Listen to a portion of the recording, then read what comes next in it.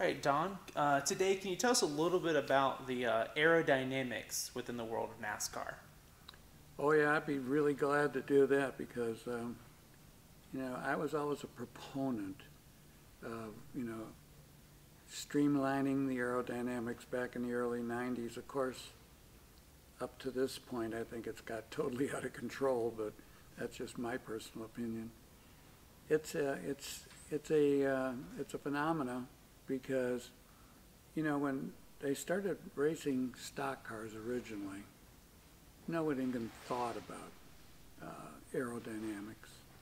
One driver who will, name, will remain actually anonymous at this point said early on that they found out about it accidentally. And Bobby Allison backed this up for me. You know, they had a trouble, had some trouble with the car overheating back in the in the uh, late 70s and early 80s, and so they took a little piece of aluminum and put it below the radiator, and it was a it was a piece of angle aluminum, and it was about two by two, you know, in in width. They put it under there, and they said, yeah, it helped the, the overheating, but it also made the front of the car stick better in the corners. So I thought, well, maybe it isn't that. So they took it off, and and they found out, oh yeah, it made a difference. So they put it back on and tested it again, and then they put a bigger one on. And as the weeks went on, they kept sneaking bigger and bigger ones on. And finally, NASCAR said, "What are those guys doing?"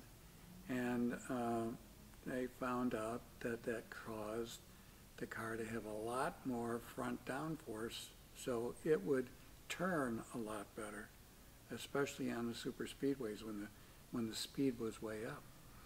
So it continually evolved, you know, and in the 90s, we, it was all about the front air dams and the, and the length of the deck lids and, and how that would increase the downforce and make the car stick to the track better at, in the higher the speeds were, the more critical it became. And um, so, you know, we used to fight about, you know, who had the longest deck lid.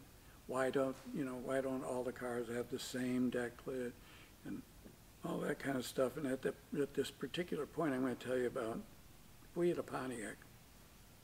In fact, you'll see the one I'm talking about in this, uh, in this museum, uh, Rusty's uh, car, the uh, Miller Genuine Draft car. And we were saying that if we had a deck as long as the Oldsmobiles, we could be a lot more competitive. Well, you know, NASCAR wasn't going to listen to us. We were we were winning races, you know. So, but it, but that was a fact. You know, we wanted a deck lid. So I was in the trailer, the red trailer with um, Mr. France one day, arguing about whether we should have a deck lid as long as as the Oldsmobile so we could have more rear downforce. And finally, uh, and finally he said, Miller, you just need to get out of here because you're making me mad. Okay, I'll, I'll leave, sir. You know, there's a guy, but just a, an offset here. Uh, that's a guy I learned to have more respect for now that he's gone. I should have been more tolerant. But anyway, he threw me out of the trailer and I was all dejected and I was walking down the steps and there was a guy at the at the bottom of the stairs and it was Chris Economaki. I don't know if you ever remember him, but I know some of the people out there in uh, in the uh, old NASCAR land. They remember Chris Economaki. He was a famous motorsports um, personality and reporter. And he said, hey, Don, come here a minute. I want to talk to you. I, I, knew, I had known him for a long time. And he said, I'm going to tell you a little story because you're getting yourself, you're talking yourself right into a corner with these people at NASCAR. I said, well, I, you know, I'm not afraid of that. He said, I know you're not, but he said, that's what's going to make it even worse. He said, the one thing you need to do is shut up for a while and listen. Okay, I'm going to shut up. So Chris proceeded to tell me the story and you know, Chris is famous for the uh, the old statement of, "Do you know what time it is, Chris?" And then he tells you how to make a watch. You know, but anyway, uh, he told me he said, you know, back in the '40s, he said, "W- w- r- m- midget auto racing was the greatest uh, piece of motorsports that there was. He said, we raced six nights a week. And he said, you know, everybody was always complaining that they didn't have this or they didn't have that, and the other guy had it and they didn't have it. And he said, so eventually, the rules makers made the cars more and more and more uh, alike. And he said, then they found out they were so much alike, nobody could pass anybody. So if you got out in front, you just, you, you know, you couldn't, you could get away from everybody and that was it. The race was over. And he said pretty soon we were only racing three nights a week because nobody went to, to the races because they knew what was gonna happen. And I see some of that happening right now.